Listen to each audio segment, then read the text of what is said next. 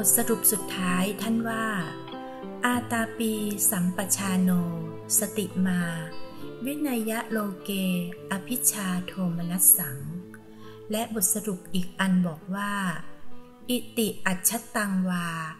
กาเยกายานุปัสสีวิหารติ ท่านบอกว่า การมองตัวรู้ให้มองถึงข้างใน หมายถึงตัวเย็น ร้อน อ่อน แข็ง เคร่งตึง ให้มองถึงข้างใน คือการเคลื่อนการไหว เราเคลื่อนเราไหวคือ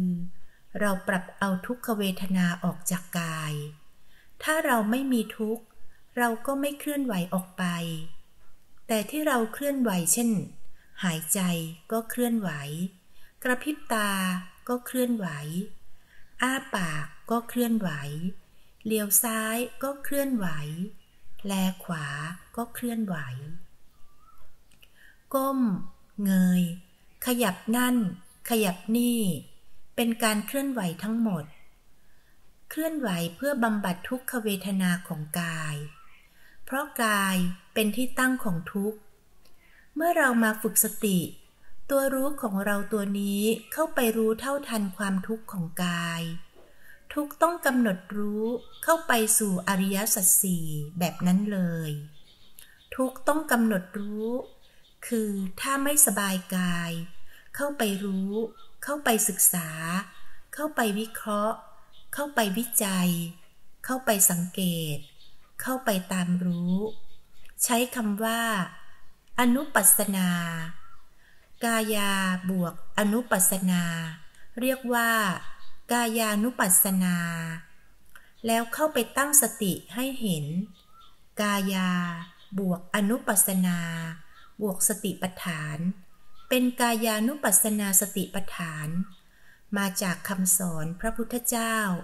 เป็นภาษาบาลี ภาษามคต ถ้ามาพูดตามศัพท์ เราจะไม่เข้าใจเลย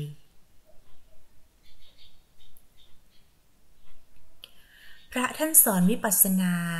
จะเอามาทั้งรุ่นเลย เหมือนแยกแยะไม่ได้ เพราะเจ้าของไม่ได้สัมผัสสภาวะ สอนสติปัฏฐานหมดปีหมดชาติ โยมก็เข้าใจไม่ได้ เพราะเป็นภาษาของเขา แต่โชคดีที่เราได้มาพบหลวงพ่อเทียน เพราะท่านพูดภาษาชาวบ้าน อุปมาก็อุปมาแบบภาษาชาวบ้าน อุปมาว่า ความคิดคือหนู ความรู้คือแมว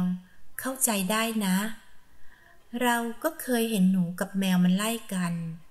เราก็มาพัฒนาตัวสติให้เป็นแมว แต่ก่อนแมวตัวเล็ก หนูตัวโต เวลาไปคาบ มีแต่หนูลากแมวไป เขาว่าอย่างนั้นนะ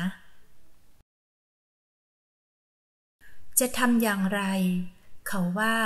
แทนที่เราจะไปตีแมว เราก็ไปจับแมวมา ขุนแมวให้มันอ้วนกว่าหนู คือเวลาความคิดมันเข้ามา มันตัวโตกว่า ตัวคิด มันใหญ่กว่าสติ เราก็จะไปตำหนิเจ้าของว่าไม่มีวาสนาบารมี หากเรามาพัฒนาตัวสติให้ใหญ่ขึ้นมา พอแมวมันตัวใหญ่ มันก็ตะปบหนูได้เลย หนูก็ไม่กล้าออกมา พอได้ยินเสียงแมว หนูมันก็หลบแล้ว ในทำนองเดียวกัน ถ้าหากว่าเราทำความรู้สึกตัวอยู่ประจำแค่ความคิดเข้ามา มันก็หลบไปแล้ว มันไม่กล้าที่จะคิดแล้ว แต่ที่มันพาให้เราคิด เพราะหนูมันตัวใหญ่ มันลากแมวไป พยายามไม่คิด ไม่ง่วง แต่เราก็ยังคิด ยังง่วงอยู่ เพราะสติเรายังมีน้อย เราจะไปตีแมวไม่ได้ เราต้องมาเลี้ยงแมวให้มันโต เราจะไปตำหนิเจ้าของว่าสติไม่ดี ปัญญาไม่ดี ไม่ใช่แนวทางที่ถูกต้อง เราต้องมาดูแลมาฝึกฝน เอาใจใส่ตัวรู้ให้มากขึ้น แมวมันกินแค่ครั้งสองครั้ง แต่สติมันกินตลอดเวลา ราะเรามีหนูหลายตัว หมายความว่าจิตเรานี่ไปติดข้องอยู่กับหลายสิ่งหลายอย่าง คือหนู แต่สติที่เราฝึกไปนี้ เพื่อจะเข้าไปรู้เท่าทันหนูพวกนี้ นี่คือเหตุผลว่าทำไมเราต้องมาฝึก เพื่อจะได้เห็นว่าจิตเข้าไปคล้องอย่างไร สติทำหน้าที่อย่างไร ถ้าสติตัวนี้มันน้อย มันไม่พอ หมายความว่า เราจะเลี้ยงแมวทีละน้อย ทีละน้อย มันไม่ทันโต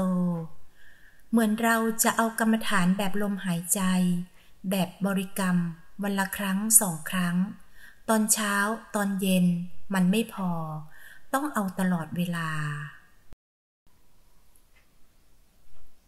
จะทำได้อย่างไรตลอดเวลา นี่คือความโชคดีของเรา หลวงพ่อเทียนท่านได้เอาตัวเคลื่อนไหวนี่มาเป็นนิมิตกรรมฐาน ไม่เอาลม เพราะลมมันละเอียดเกินไป มันไม่ทัน ถ้าเราเอาตัวเคลื่อนไหวมาเป็นนิมิตกรรมฐาน เราชำนาญในการเคลื่อนไหวส่วนใดส่วนหนึ่งของร่างกายแล้ว มันจะบูรณาการ มันจะครอบคลุมไปหมดของความรู้สึก ของการเคลื่อนไหว เมื่อยกมือดู รู้เข้า รู้เข้า มันจะเข้าไปรู้การพลิก การเคลื่อน กระพริบตา อ้าปาก หายใจ เหลียวซ้าย แลขวา เปลี่ยนย้ายอิริยาบถอย่างไร พลิกย้ายถ่ายเทอย่างไร สติจะรู้เท่าทันหมด เพราะเหมือนเรามาปลูกมาฝังอยู่นี่ เหมือนเรารดน้ำต้นไม้ เรารดอยู่ที่เดียวบนต้นมัน แต่ว่าน้ำที่รดลงไป มันซึมลึกๆเข้าไปใต้รากมัน และมันก็ดูดขึ้นไปบนต้น ทั้งๆทที่เรารดอยู่ที่เดียวใช่ไหม ฉะนั้นเราไม่ต้องสงสัยว่ายกมือแล้วจะทำอย่างไรต่อไป บางคนถามและเดินจงกรมละ่ะทำอย่างไรต่อไป ก็คือเดินนั่นล่ะ ก็คือ มีหน้าที่รดน้ำก็รดต่อไปนั่นล่ะ หน้าที่ต้นไม้มันจะดูดน้ำซึมซับอย่างไร เป็นเรื่องของมัน เรามีหน้าที่สร้างจังหวะ เดินจงกรมอย่างถูกต้องแล้ว ตัวรู้ที่มันเกิดจากการยกมือ มันจะเป็นอย่างไรเป็นเรื่องของมัน ธรรมชาติเขา เราไม่ต้องไปคิดเอาว่าจะเป็นอย่างไร มันไม่ใช่หน้าที่ของเรา